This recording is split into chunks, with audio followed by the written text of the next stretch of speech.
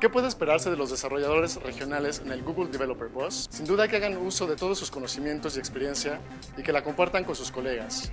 Además, que se integren en esta comunidad de desarrolladores que cada vez está teniendo un impacto más importante en el desarrollo de la innovación en México. ¿Cuáles son aquellas características distintivas de los desarrolladores para poder triunfar en sus emprendimientos? Sin duda, desarrollar una curiosidad y un sentido de observación que les permite identificar problemas que no están siendo solucionados actualmente. Además, de tener una capacidad para implementar estas soluciones de forma rápida y eficiente.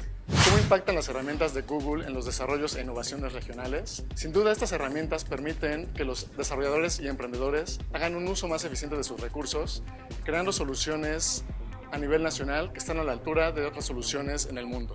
Los invitamos. Yo al Google Developer Boss le doy un más uno.